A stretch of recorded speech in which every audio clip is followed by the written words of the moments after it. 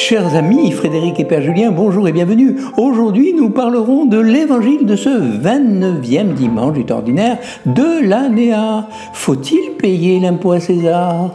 Bonjour, merci de m'accueillir sur Culture Bible. Alors, c'est un sujet que nous avons déjà traité, mais ça vaut la peine de revenir sur cette phrase que Jésus prononce et que vous connaissez bien. Rendez à César ce qui est à César et à Dieu ce qui est à Dieu. Voilà donc réponse de Jésus qui met nos neurones en ébullition, mais qui n'est pas si surprenante quand on la replace dans son contexte. Ah, nos neurones en ébullition. Tiens, ça me plaît ça. En plus, je pensais tout savoir, ou presque, sur la question, mais bien entendu, je ne suis pas contre un approfondissement. Chers auditeurs, si vous aimez notre chaîne et que vous voulez nous montrer votre soutien, euh, pensez à vous abonner. Et si vous likez avec le pouce, ça donne à notre vidéo un meilleur référencement. Pendant la lecture de l'évangile, vous verrez des images prises dans un élevage de, cochons 100% bio, séquence donc immersion dans le rural Saint-Angers. En ce temps-là, les pharisiens allèrent tenir conseil pour prendre Jésus au piège en le faisant parler. Ils lui envoient leurs disciples accompagnés des partisans d'Hérode. Maître, lui disent-ils, nous le savons, tu es toujours vrai, et tu enseignes le chemin de Dieu en vérité, tu ne te laisses influencer par personne, car ce n'est pas selon l'apparence que tu considères les gens. Alors, donne-nous ton avis. Est-il permis, oui ou non, de payer l'impôt à César l'empereur? Connaissant leur perversité, Jésus dit Hypocrite, pourquoi voulez-vous me mettre à l'épreuve? Montrez-moi la monnaie de l'impôt. Ils lui présentèrent une pièce d'un denier. Il leur dit Cette effigie et cette inscription, de qui sont-elles? Ils répondirent De César. Alors il leur dit Rendez donc à César ce qui est à César et à Dieu ce qui est à Dieu. Alors le piège est tendu par les pharisiens avec l'aide des partisans d'Hérode. Doit-on payer l'impôt à César? C'est la question. Si Jésus répond qu'il est permis de payer l'impôt à l'empereur, alors il passe pour un collabo et si au contraire Jésus encourage à ne pas payer, il est immédiatement rangé dans la catégorie des zélotes révolutionnaires. En fait, c'est plutôt malin de la part des pharisiens. Ils ont vraiment tout, tout, vraiment tout prévu pour mettre Jésus en difficulté. Ils ont même pensé à inviter des partisans d'Hérode pour qu'ils puissent procéder à son arrestation et le faire condamner le plus rapidement possible. Jésus demande donc à voir la pièce avec laquelle l'impôt doit être payé. Cette effigie et cette inscription, de qui sont-elles? Ils répondirent, de César. Alors il leur dit, rendez donc à César ce qui est à César et à Dieu ce qui est à Dieu. Et à la lumière des recherches historiques et archéologiques de ces dernières décennies, euh, que sait-on, Frédéric, de cet impôt euh, demandé par l'occupant romain? On sait que tous les pays conquis par l'empereur étaient tenus de verser un impôt. Seul Rome et la péninsule italienne en étaient exemptés. L'impôt était calculé en fonction du patrimoine des contribuables, mais tous devaient payer le tributum capitis. Riche ou pauvre, il fallait débourser un denier argent par tête. Jésus aussi devait payer sa contribution. Le tributum capitis. Je comprends maintenant la nécessité pour Rome de faire des recensements précis et réguliers de la population, comme au moment de la naissance de Jésus. C'était pour remplir les caisses de l'État romain. Et financer les guerres. Les nations n'avaient pas le droit de frapper de la monnaie en argent, c'était vraiment un privilège réservé à l'empereur romain. Oui, c'était habile de la part de l'empereur. Et Rome unifiait ainsi son empire en frappant ses pièces d'argent à l'effigie de celui-ci. Cette tradition remonte à Jules César, mort en 44 avant notre ère, et cette coutume s'est poursuivie ensuite avec tous les empereurs romains. C'est Jules César le premier qui a eu l'idée de faire apparaître son visage sur les pièces de monnaie. C'était donc une façon de faire de la propagande et de fédérer des provinces lointaines. Donc, payer l'impôt ne devait pas poser de problème, c'était la monnaie de l'empereur et elle retournait, devinez où, à l'empereur. Les habitants du pays rendaient donc à César la monnaie de sa pièce. Et dans ces conditions, Frédéric, je ne vois pas trop où était le problème, le piège. Eh bien, pour répondre à votre question, Jean, il faut distinguer les différents partis religieux dans la société juive de l'époque. Les Sadducéens et les Hérodiens payaient volontiers l'impôt parce qu'ils étaient de mèche avec les Romains. Oui, et les pharisiens payaient aussi tant qu'ils pouvaient vivre librement leurs pratiques euh, religieuses. Même les Esséniens, finalement, retirés sur les rives de la mer Morte, comprenaient eux aussi la nécessité de payer ce tribut à l'empereur. Voilà, le problème s'est posé que pour les zélotes. Malheureusement pour Israël, ils ont fini par s'imposer dans la société et ils ont déclenché une guerre sainte. Ce qui a conduit à une répression féroce de la part de Rome euh, avec la chute de Jérusalem et la destruction du temple en 70.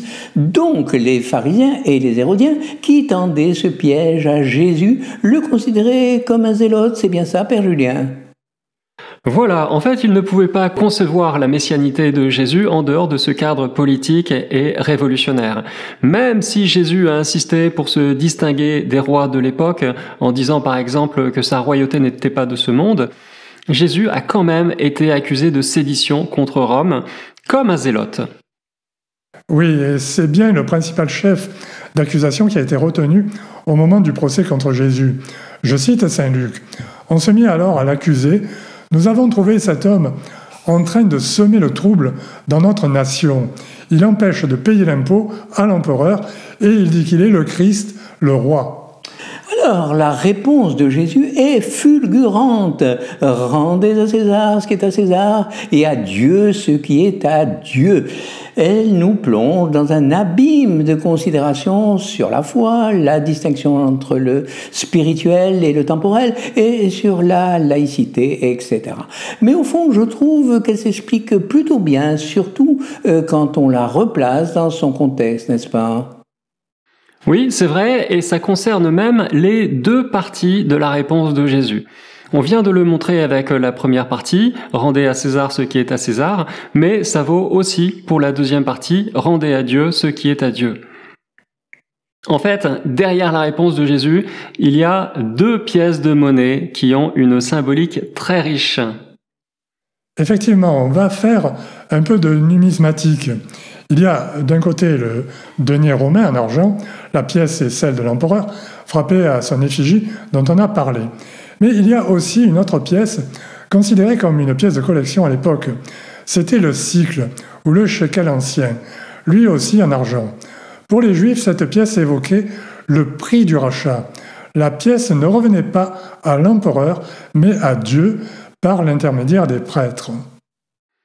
Mais à propos de cette pièce, il y a quelques explications à apporter. Jean, est-ce que la fête du Pidion Aben vous dit quelque chose? Oui, Julien. En hébreu, le pidion haben signifie le rachat du fils. C'est d'ailleurs une des mitzvahs de la Torah. La tradition part du principe que le premier enfant mâle est à Dieu. C'est une condition nécessaire pour que tout le peuple soit consacré. Voilà, tout premier-né est à Dieu, et ça signifie très concrètement qu'il doit être au service du temple. Il faut donc le racheter à Dieu pour qu'il puisse mener sa propre vie. À moins, à moins bien sûr que l'enfant euh, soit né de la tribu de Lévi, et alors il n'a pas besoin d'être racheté parce que son destin est déjà tout tracé à sa naissance, il est prêtre ou lévite. Exactement, Julien. Et pour que le premier-né, non lévite, soit libéré de ses obligations liturgiques, son père doit verser une somme d'argent à un prêtre, un Cohen. Cette transaction se déroule au cours d'une fête célébrée le 30e jour après la naissance. Et selon le livre des nombres, le père doit payer cinq cycles anciens en argent. Et vous voyez que ce parallèle dans la réponse de Jésus, rendez à César ce qui est à César et à Dieu ce qui est à Dieu, en fait est fondé sur la comparaison entre ces deux pièces, le denier et le cycle. On paye un impôt à César pour évoluer librement euh, dans l'Empire romain.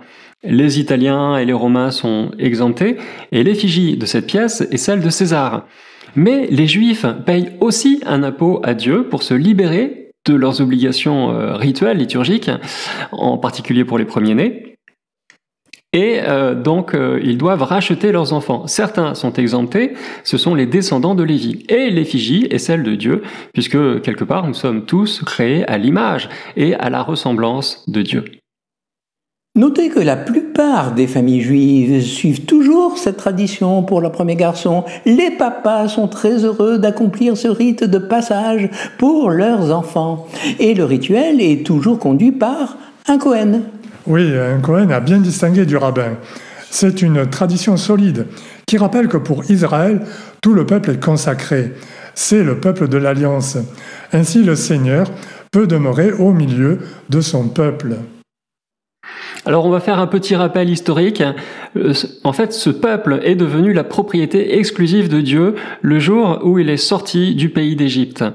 Le peuple a pris conscience de ce devoir de racheter les premiers-nés, les garçons, lorsque les Égyptiens ont perdu leur fils premier-né. Alors vous vous souvenez de cette page de l'histoire, n'est-ce pas?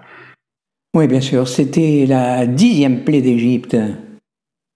Événement dramatique au cours duquel les Hébreux se sont dit que Dieu voulait aussi, aussi les premiers-nés de leur famille. Et les Hébreux ont donc institué euh, les Lévites, euh, les prêtres, et mis en place ce système de rachat des premiers-nés. Il fallait euh, effectivement rendre à Dieu ce qui est à Dieu par une transaction tout à fait financière, cinq cycles pour les garçons premiers-nés. Quand Jésus dit rendez à Dieu ce qui est euh, à Dieu, il rappelle simplement aux pharisiens cette mitzvah, ce commandement. Vous savez qu'il y avait 613 euh, commandements à l'époque de Jésus, et c'est un des commandements les plus importants de la loi. Donc les pharisiens connaissent parfaitement ce commandement. Le peuple appartient à Dieu par ce système de rachat des premiers-nés. Voilà, alors c'est vrai, la parole de Jésus est étonnante et incisive, et elle peut s'interpréter de bien des façons. La réponse évolue en fonction de notre interprétation de la laïcité aujourd'hui. Mais en soi, Jésus rappelle des notions profondément enracinées dans la société de l'époque romaine et juive. Et quand Jésus dit rendez à César ce qui est à César et à Dieu ce qui est à Dieu, le parallèle est vraiment parfait parce qu'il s'appuie sur une comparaison entre ces deux pièces de monnaie en, argent, le denier romain euh, qui revient à l'empereur et le cycle du sanctuaire qui est destiné à Dieu. Les deux se ressemblent, mais vous voyez qu'ils n'ont pas du tout la même symbolique. Et quand Jésus répond aux pharisiens, on a vraiment l'impression qu'il voit ces deux pièces et qu'il les pèse au creux de ses mains. Voilà, merci pour cette mise en perspective à partir de la numismatique. Euh, j'avoue que c'était bon à savoir tout ça. Et nous nous disons à lundi prochain à 18h, ici même sur notre chaîne Culture Bible. Euh, très bonne semaine à toutes et à tous. Merci Jean-Paul, Frédéric et Daniel et à lundi prochain.